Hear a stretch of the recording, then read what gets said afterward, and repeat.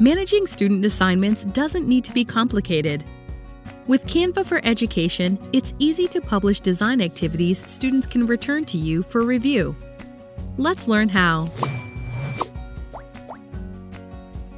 Get started by creating a design. Have young learners or students who are new to Canva?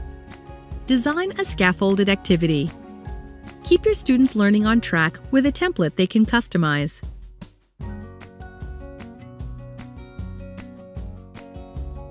Guide your students by editing text boxes and media frames like this.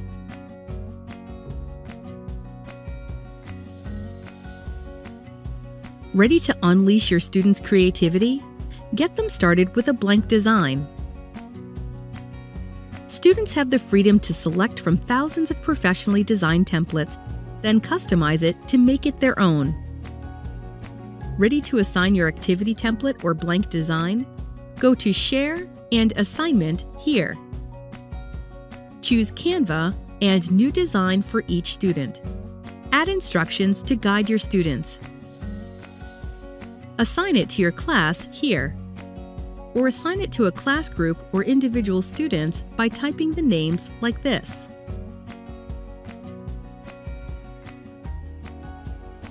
Have student assignments to review? Find them in your classwork inbox. Keep track by filtering assignments that are waiting for your review, assignments you have returned, or assignments you have requested students resubmit. Review an assignment by selecting Review here.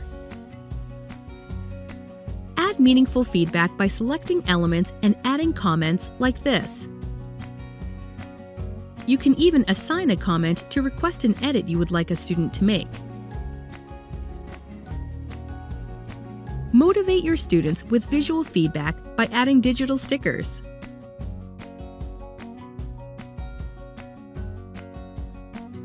Once you have completed your review, select the Review button here. Leave a feedback message and select Return. If you require a student to make changes and resubmit their work, select Give Feedback instead. Make assigning and reviewing creative activities in the classroom easy with Canva.